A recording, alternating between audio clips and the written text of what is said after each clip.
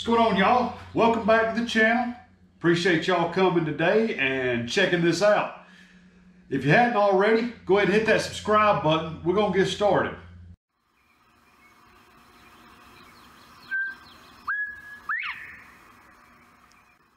Okay, one of my previous videos, I talked about how to, to quit your full-time job and go into taxidermy full-time. Just quit 100% and just do this for a living. On there, I gave some pointers of, of what I did uh, to prepare me financially to be able to come in here and do this, uh, you know, starting out. It's kind of tough. But anyhow, I'm going to expand a little bit. On, on this video, I'm going to talk about the two most important things to be successful when you are working for yourself doing taxidermy full time. Uh, I want to begin by saying the worst, probably the worst thing that I was ever told as far as somebody giving me advice in business was we're here to make money, not to make friends. Now, I'm sure that I bet 99% of y'all have heard that before. Now, here's the problem I've got with that, okay? There is no way that anybody is going to want to come and do business with you if they do not think that you like them a little bit. If you act like you were just there to take their money, they're going to come once and that's going to be it. It's going to be a one and done, out the door kind of deal. Uh, I understand the idea that you can't give people favoritism. You can't give them discounts because they're they're your buddy you know, because you've got to make money. But but my suggestion as an alternative to that that quote would be to, to tell your employees or, or to yourself or whatever that you need to be honest with your customers.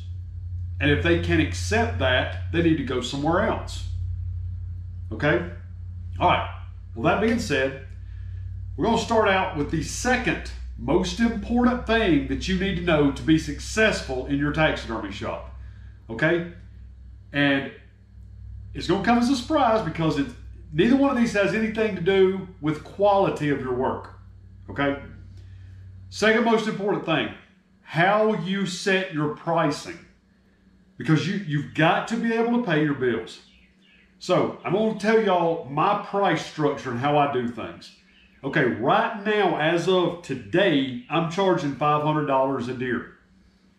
Okay, that is just a base price. That's for a regular shoulder mount, no plaque, just a shoulder, wall pedestal, floor pedestal, or regular shoulder mount. Okay, and that's all standard. That's no finished pedestals.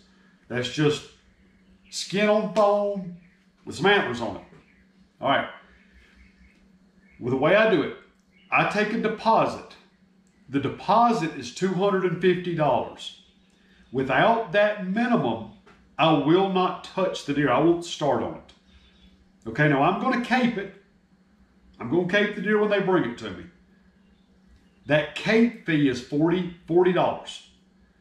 So that way, if they decide to come pick their deer up later, you're not out, you know, your labor time just for caping a deer head so that they can take it somewhere else which never happens. But you, you want to have that assurance that you're getting paid for your work. Okay, so based on that deposit, what I do is, it's $250 deposit. That's required for me to put your deer in line to be mounted. I won't order the supplies or anything until I get that $250. Now, what they've got is an option to be able to pay anything more toward their paid in full payment. So if somebody decides to pay me $500, then they're first in line. The amount they pay decides and determines their place in line based on when it's going to be mounted. Now you've got to make sure that you let them know that's no guarantee on turnaround time. All that is, is reserving your place in line. You know, so what it, what it will do is if, if you bring me a deer in January, and nobody has paid in full and you pay in full, then you're the next person's deer that, I mean, your deer's the next that gets mounted as soon as the supplies are here. Okay, that's done several different things for me. Two two main things. Number one, the customers have the option. The ones that want their deer back fast can pay. The ones that don't are okay with the wait, and they understand that from the get-go, which is very beneficial because it means less phone calls, less stress on the customer, which in turn is less stress on the taxidermist. Okay, second thing is I've gotten to where now there's probably close to 70 to 80% of my customers that pay in full at drop off. So they all get put in line in the order that they have paid me. And I get 70 to 80% of my yearly income within three months of the year. So I, am able to take out all of my expenses and set it aside in a different account so that I can buy supplies. I can go ahead and order ahead, you know, which which prepares me for for you know any kind of out of stocks, back orders, that sort of thing. I'm able to stay ahead of the game. Working in retail for 25 years taught me that. You know, there's times there's going to be shortages. And if you don't stay ahead, you're just going to end up just like every other taxidermist, you're going to be behind and you're not going to be able to get caught back up. You can't, it doesn't work that way, especially if you're a one man shop. All right, something else I do I, I do an expedited fee. So it's a hundred dollar bill, 100 bucks. If you pay me an extra hundred dollars, your deer is ordered the day you pay me. The reason for that is it doesn't make me an extra $100, but that $100 covers the cost of shipping for that one deer head because it's almost the same price as it is to order four or five at a time. It'll cover that, that high shipping cost, and it will also cover the discount that I get for ordering a $1,000 minimum at a time. So I'm allowed to, I'm able to go ahead and just order that all at one time that day, get it in, and I mount it just as soon as I've got the, the deer tanned and ready to go. So, I mean, you know, best case scenario, you're looking at a three week turnaround time for that extra $100. Surprisingly enough, I had over 20 people do that this past season. They really liked that option. And like I said, the guys that's got the money and want their deer back, it works out great for both people. I get I get my money up front. I get the deer out the door. They're happy with it, and, they, and it's not in my way anymore and they've got their deer back faster than any of their buddies, which it works out great. Okay, next thing, merchandising. Uh, as far as when it comes to getting paid, a great way to getting paid a little bit more here or there and giving the customer an option for payment is merchandising. Something that we do in retail all the time. And I've, I've kind of brought it into the taxidermy shop. What I do is I offer a $50 deposit, uh, $50 charge for finishing the back of a wall pedestal with the leather and a piece of rope, you know, so that it looks nice. Extra 50 bucks. Uh, same thing with, uh, say, floor pedestals. You know, they don't have to buy a floor pedestal. I can just give them the deer with the, the post sticking out the bottom of it, and they can get a pedestal themselves or whatever. But if they want the pedestal, they've got the option to pay extra for that, have all that assembled on site. As far as plaques. I do a $50 plaque, which I make myself, cut it, router it, all that stuff. There's another video I've got uh, on how to do that. Uh, also the name plates, I charge $10 a piece. So all that can be separate. You know, it can all be sold separately rather than somebody having to have this amount for this deer and that's just the way it is. It, it allows people to pay, you know, less or more. Uh, also take, take uh, payments. You know, the way that I've worked out my payment system, if somebody pays in full, you know, they get put at the front of the line behind the last person that paid in full. But I also allow people to make payments. So if they give me a $250 deposit in January, will come June or July, if they decide they want to pay me an extra $100, wherever they were at in line, once that goes up to $350 deposit, they'll get put in line right behind the last person that paid $350. So each time they pay more, it moves them up a little bit along the line. You know, and like I said, some of those things it's just beneficial. It, it gives you interaction with the customer. They know what's going on, and the ball is back in their hands. So it's no longer your responsibility to get their deer finished as soon as possible. It's their responsibility to make sure that they have access to a quick turnaround time. And it works out good, like I said. Okay, that was actually the second most important thing is, is how you get paid. First most important thing is your reputation. Without your reputation, you will never make money. Okay, over the long term, I have got guys that's been bringing me deer since the first year I ever even attempted mounting a deer. They were friends of mine, guys I grew up with, some of my best friends, family, that let me mount a deer, then let me mount another one, then two more. And I'm talking about deer that was, it was shoddy work, man. Like it, some of that stuff looked bad, especially looking back at it now. But they knew me. And what I learned really quick was that as their friends of of, of theirs, and then friends of friends started bringing me their deer. They brought them just because they knew me and trusted me. It had nothing to do with my quality of work. Zero. They just they liked they liked dealing with me. All right, let's break that down a little bit. How you how you create a reputation in your taxidermy shop. First thing is honesty.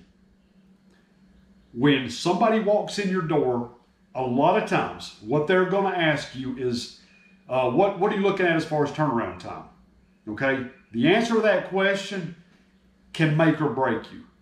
The, on social media, the thing that I hear the most complained about taxidermists is that, you know, my guy said he was going to be done in three months. Now he's had it for eight and won't return my phone calls. You know, worst thing you can do is tell somebody too short of a turnaround time. Uh, what, what I average is three deer per week. So I tell them I normally average three deer per week. This is how many deer ahead of yours. So based on that math, your deer is right here according to your deposit amount. Okay, still no guarantee.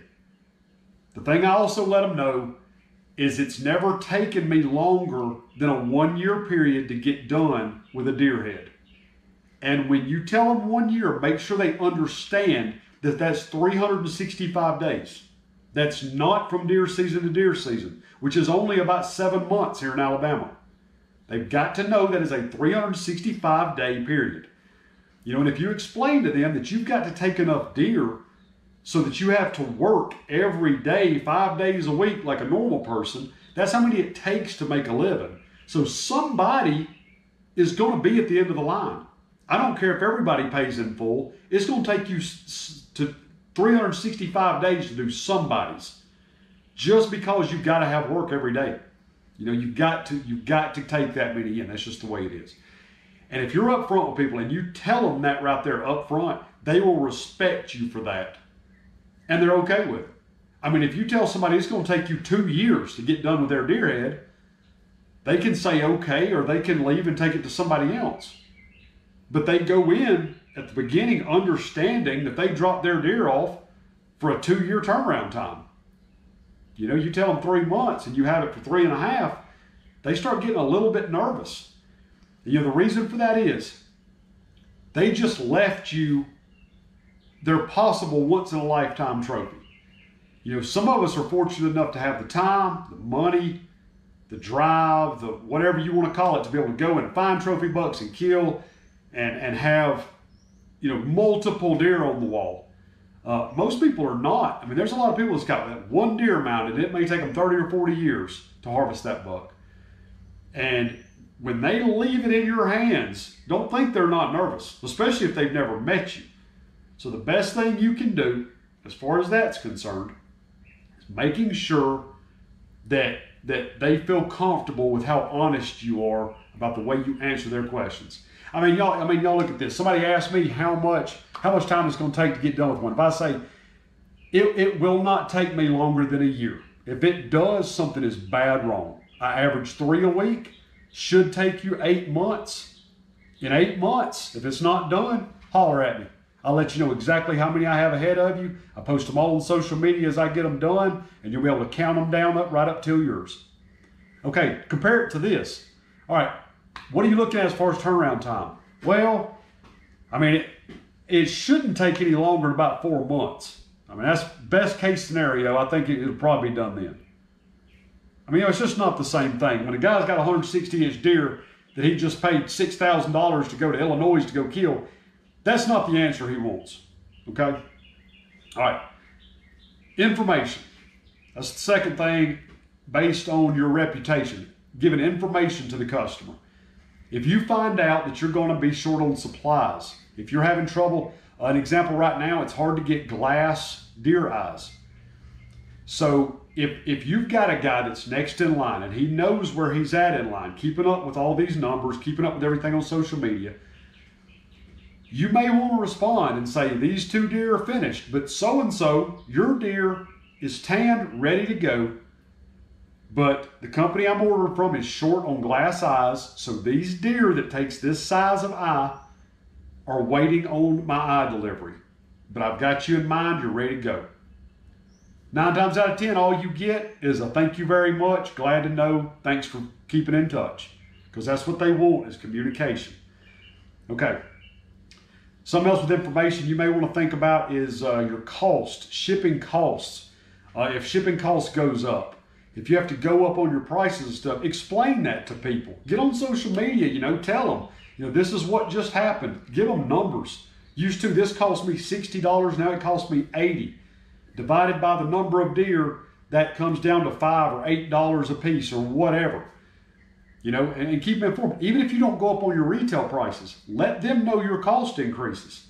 So what happens is once you start getting up to that 50, 60, 70 dollar range that you're having to spend more than you did a year ago, you can raise that price to 100 or, or you raise it $100 and that customer understands, well, you know, I'm glad he waited this long because it, you know, it's been it's been going up on him for a year. It keeps them in the loop. They they know what's going on before, you know, they're blindsided by a really high increase in prices all of a sudden.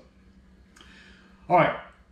Next thing, we're going to talk about showing interest in someone's mounts.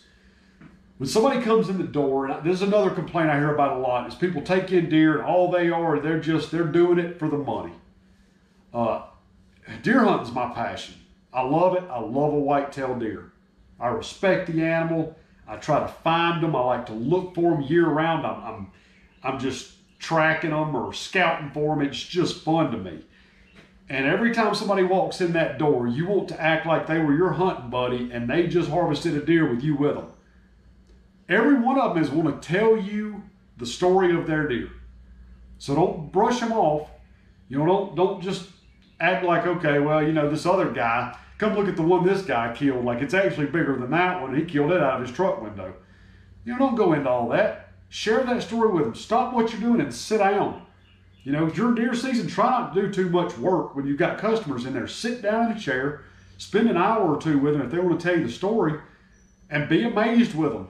You know what I mean? Pretend like it was your best friend. Pretend like it was you. And you know what they're going through if you've been there before. You know, the best thing you can do is make them feel like you're proud of them.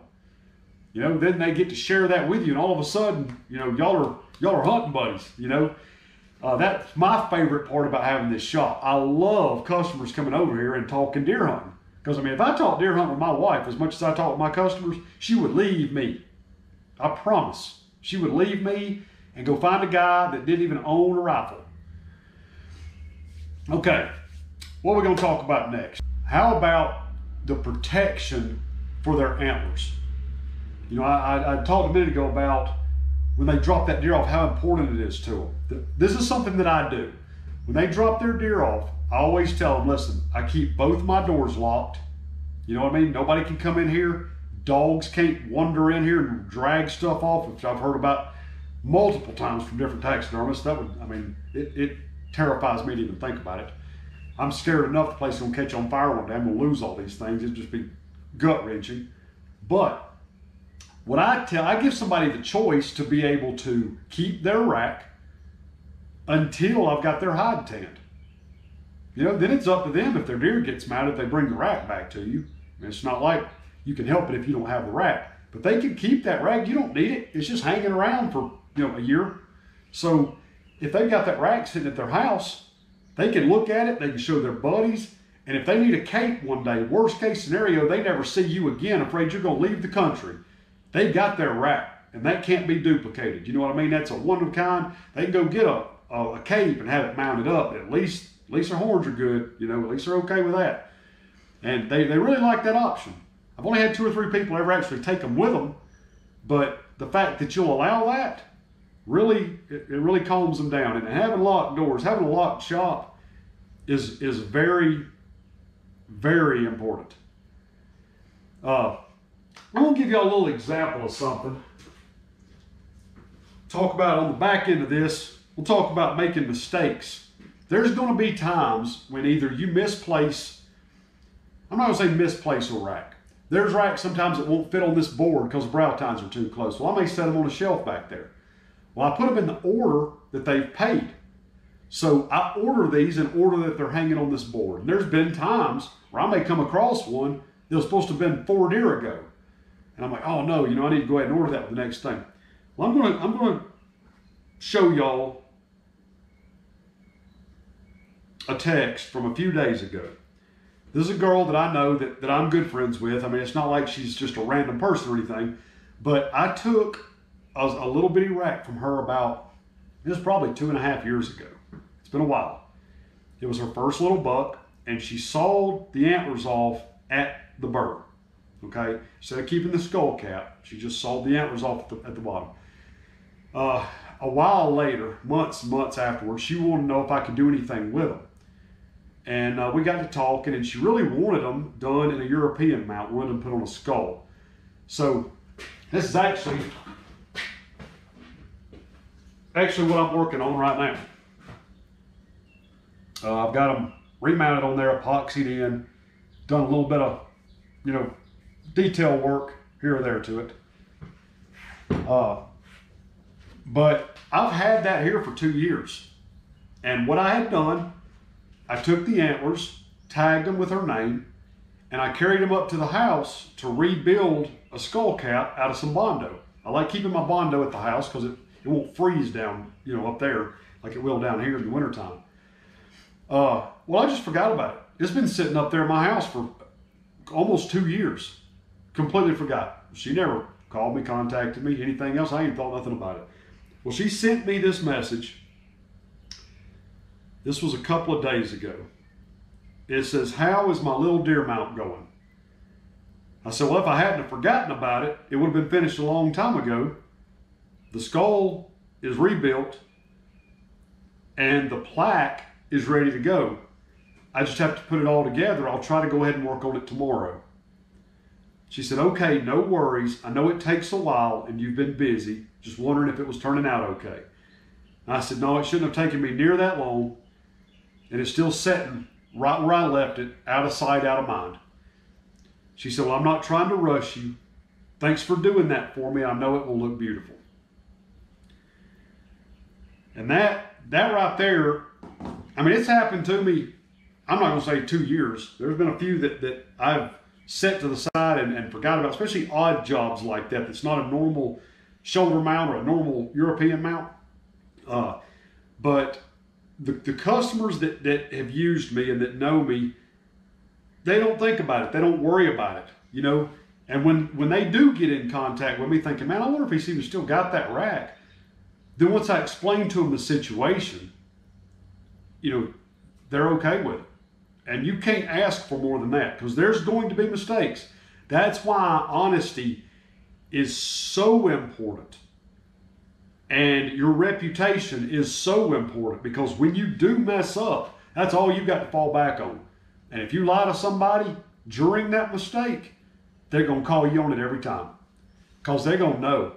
I mean, they'll go on social media in a minute and say, you know, hey guys, like, how long does it take to, you know, get a, a base built for some deer antlers?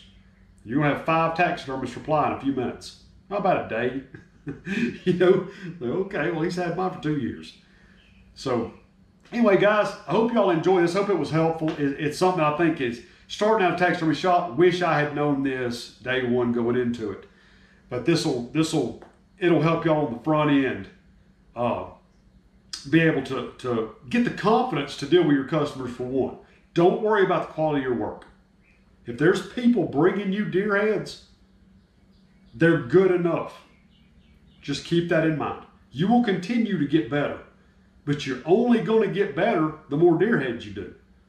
So, I mean, you're not going to harvest enough deer yourself to practice on to get that good. You're going to have to take deer. So if you're thinking you're trying to wait to get good before you start taking deer, don't. If you do several starting out and people don't really like them, don't ever come back, they took a chance on you because you were the cheapest guy. And that's on them, that's not on you. Because that's the honest truth. You know, and if they ask you, why are you so cheap, say, well, I ain't done but 10. If you trust me to do it, I'd love to try. You know, I've never had anybody outright tell me they didn't like the job I did, but I would gladly give them their money back if they didn't. Uh, and as long as they know that going into it, usually they're okay with it, especially if you're charging a reasonable price. If you've got to start out charging $350 a deer head, do it. You know, if it if you can get if you've got a full time job and you can do this on the side, if you can get 20 deer in a year to practice on, that's going to get you a long way ahead of the game. Uh, especially if you watch some of my other videos, if you pay enough attention to those videos while you're mounting that first and second, third deer, it's going to help you visualize what you're supposed to be doing rather than having to guess like I did and try to learn some of this stuff that I couldn't find on YouTube, you know, that just wasn't available. That's why I'm trying to make all these videos, let people skip all those mistakes and go straight into some success, you know, and a little bit of a little bit of financial security. Uh, but but sure enough, uh, take the deer, take them in. If somebody will let you have a shot at it, get it, and and do it because, like I said, that reputation. As long as you're honest with people, you will have a business built on that honesty that has zero to do with the quality of those shoulder mounts. I can promise you. They won't even care. They'll tell you, I don't care. I don't care what you do, how much you charge. I don't care what it looks like. I'm bringing mine to you. And that's just because they like you. It's just the way it is. Anyway, guys, I hope y'all have a great afternoon. And hopefully I'll have something else I can show y'all, you know, in the near future. There's a couple different videos. Matter of fact, I'm about to put some feet together, make a gun rack. I made video of that. Guys, we'll see y'all next time.